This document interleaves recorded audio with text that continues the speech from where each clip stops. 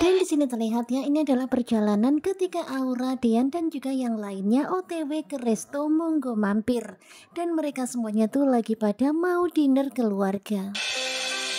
Dan kalian bisa lihat ya dengan lugunya Aura berkata kepada sang papa kalau Aura pengen punya adik. Ya pastinya di sini Dian dan juga Tias pun jadi bingung.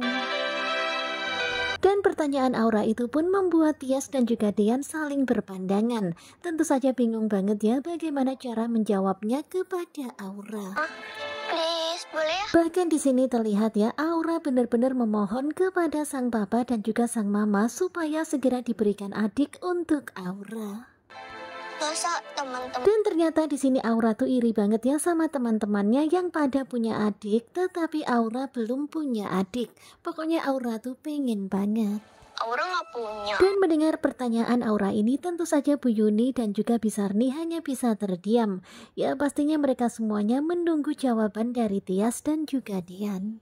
Aura mintanya jangan ke papa Dan kemudian Dian pun menjawab seperti ini kepada Aura supaya Aura memintanya jangan kepada papa dan juga mamanya tetapi memintanya kepada Allah. tapi Aura minta ke Allah Dan memang pinter banget ya Dian ini ada aja jawabannya padahal sebelumnya tuh Dian tuh bingung banget mau jawab apa ke Aura. Hmm, Oke, Pak. Dan mendengar jawaban Dian itu tentu saja Tias pun jadi tersenyum. Kemudian Aura pun berdoa, bahkan kemudian Bu Yuni dan juga Bisarni juga ikut mendoakan dan mengaminkan.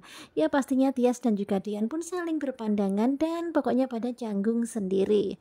Kemudian adegan berpindah kepada pokoknya semuanya tuh udah sampai di resto dan ternyata di resto itu adalah resto di mana sekarang ini Jino lagi belajar bikin mie godok kesukaan Tias. Kemudian Abel juga datang ke tempat itu. Tiba-tiba Abel mendapat telepon dari Hani dan Hani tuh pengen ketemu sama Abel karena Hani nggak mau Abel membeberkan rahasianya kalau dirinya masih hidup. Dan ternyata Abel sekongkol ya akhirnya sama Hani, tetapi Abel masih bingung apa sebenarnya yang terjadi sama Hani kok sampai seperti ini. Ya kemudian Abel ketika lagi teleponan sama Hani tiba-tiba Jino datang.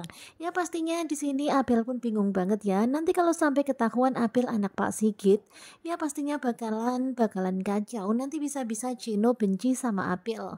Sementara itu Hani lagi OTW ke tempat resto itu. Semuanya pada ngumpul.